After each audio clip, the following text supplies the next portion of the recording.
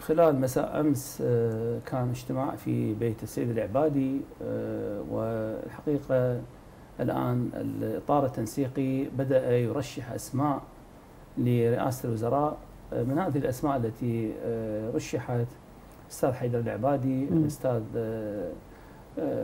العيداني محافظ البصرة وكذلك الأستاذ محمد الشيع السوداني وكذلك طرح تسعة أسماء طرحت.